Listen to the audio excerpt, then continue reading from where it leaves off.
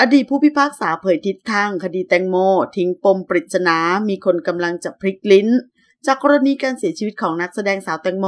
ที่ตกเรือสปีดโบ๊ทกลางแม่น้ำเจ้าพระยา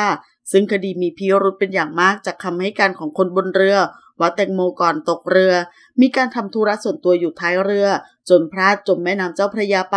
ซึ่งในความเป็นจริงจากที่เจ้าหน้าที่ และผู้ที่ติดตามคดีนี้ต่างบอกเป็นเสียงเดียวกันว่า มันไม่น่าจะเป็นไปได้ ถ้าแตงโมจะนึกพิเรนทร์ทำเช่นนั้น โดยเจ้าหน้าที่ตำรวจได้ตั้งข้อหานายตนุภัทรเลิศทวีวิทย์หรือไฮโซปอ และนายไพบูลย์ตรีกาญจนานนท์หรือโรเบิร์ตผู้ขับเรือด้วยข้อหาประมาทเป็นเหตุให้แตงโมตกน้ำ และอาจมีการแจ้งข้อหาอื่นเพิ่มเติม ซึ่งขณะนี้ทางไฮโซปอและโรเบิร์ตอยู่ระหว่างการบวชพราหมณ์ อุทิศบุญกุศลให้กับแตงโม ล่าสุดนายชนบท ศุภศรี อดีตผู้พิพากษา